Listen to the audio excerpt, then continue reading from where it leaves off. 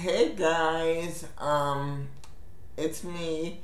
It's Monday today, so that means again, it's time for my quote for the week. Well, this quote, um, comes comes at the very beginning when Clayton, well, when we see Clayton at 30 from being 16, um, from being 30, and he's um, describing his PTSD and he's describing how it affects his life. So here, here it goes.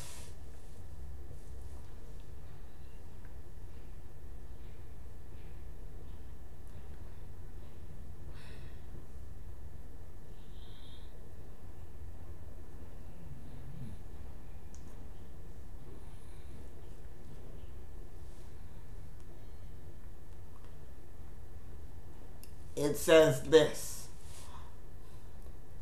Psychologists call what I struggle with post post traumatic stress disorder, but I call it my own private hell. A torture that is never ending, or a demon that has its hold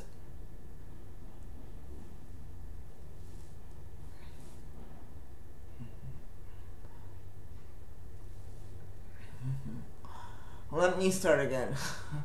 Psych- psychologists call what I struggle with post traumatic stress disorder, but I call it my own private hell. A torture that is never ending, or a demon that has me in its hold and won't let me go no matter how hard I try. If I let it, if if I let them, my thoughts would drag me down to to a place. Okay. If if I let it, my thoughts would drag me down to a place so dark and lonely, a place where the, depths of my despair would know no bounds. Um, a place in my mind where the feeling is beyond description and to come into the light would be utterly impossible. I love this quote because it really shows how, who Clayton is when the story really gets going.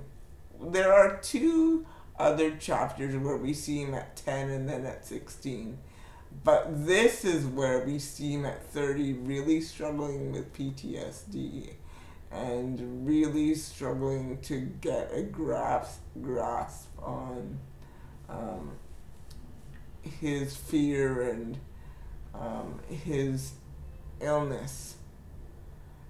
Um, I chose this quote because it's it's not my favorite quote. I I read my favorite quote last week, but it's one of the most jarring quotes I, I find when you come to meet Clayton at 30. Um, you see what a different place he's in from when you left him at 16. So that is why I chose this quote, because it's so it describes what well the person Clayton is in 2014 uh, versus the the the early 2000s when he was a carefree uh, high school kid um, just in love with Florence. You see from this quote, he has real issues and real problems. Because the quote was so choppy the first time, I'm gonna try and read it again more fluidly. Okay, so here it goes. Psychologists like to call what I struggle with post traumatic stress disorder, but I call it my own private hell. A torture that is never ending, or a demon, or a demon that has me in its hold and won't let me go no matter how hard I try. If I let it, if I let them, these thoughts would drag me down to a place that is so dark, so lonely, a place where the depths of my despair would know no bounds. Uh, place in my mind where the feeling is beyond description and to come into the light would be utterly impossible. Thank you guys so much.